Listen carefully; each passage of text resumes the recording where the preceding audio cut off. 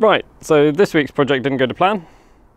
Um, the new one of those is supposed to be in there, and it's not. So I started an emergency project earlier in the week, and we're going to make a jigsaw.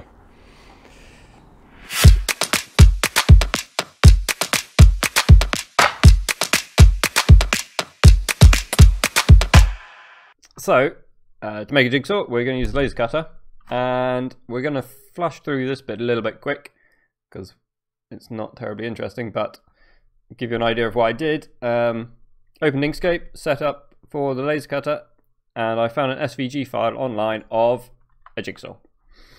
Um, not terribly complicated, and we're going to make it smaller, like this. Um, this is going to be our cut, so it needs to be in red, so that the printer recognizes it. It needs to be in red. Um, like that.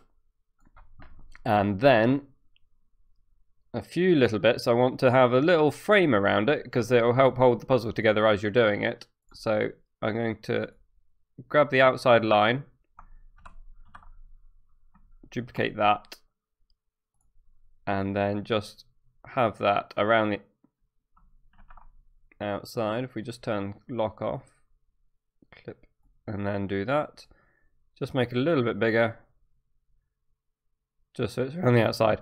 And what I thought would be interesting, because these lines are probably going to be quite big on the laser cutter for a jigsaw, um, and it's quite a small jigsaw. This is only 30 centimeters long and 20 centimeters down, so this is even smaller than half of that.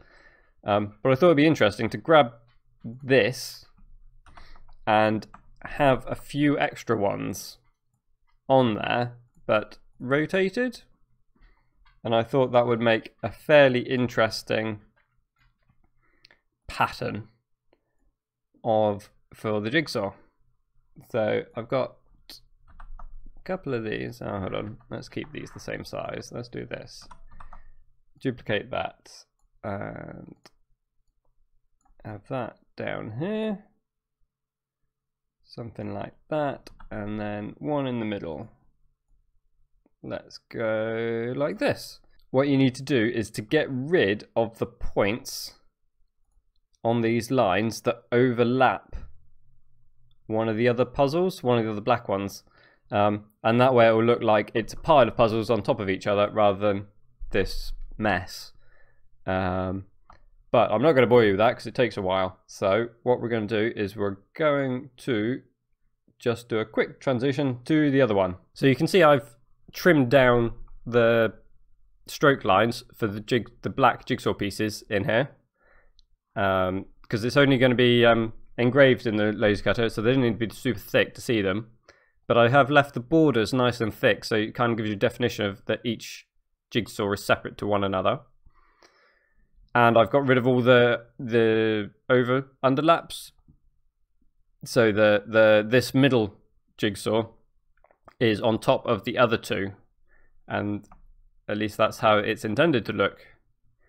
And I've trimmed the extra bits off so that I don't end up wasting bits of wood because I can use this piece of wood later on.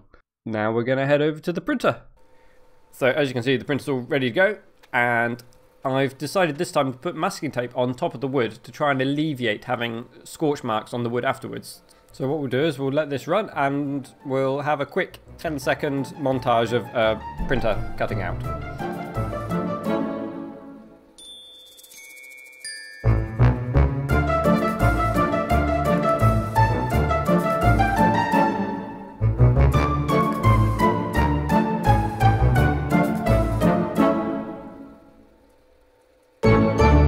And we're done. So the next bit, now that it's all cut out, is to get it out of the machine. So what I'm going to do is I'm going to move it around to stop it sticking to the glue that's on the metal plate behind it. And then we're going to cover it in masking tape again so that I can lift all of the pieces out as one solid jigsaw piece. So it's at this point I realise I've made a terrible mistake and I've got to remove all of the very tiny pieces of masking tape that the laser cutter has cut out into jigsaw shaped pieces on top of jigsaw shaped pieces. And so I'm kind of hoping that the big pieces of masking tape will remove the little ones as they come off. They did not. So now we start the arduous process of removing all of the masking tape from all of the other pieces. It turns out it would have been quicker to just print another one. Uh, but I wasn't too sure whether it would, and I wanted to see if the masking tape had actually stopped the scorch marks. So I persisted, and with a quick little jump cut, it actually did help. Uh, but it did take me three times as long to peel off the masking tape as it would have done to print out another one. I suppose I should give this puzzle a go now. And let's find out how long it actually takes to do without a picture. Although I do kind of roughly know what it's supposed to look like.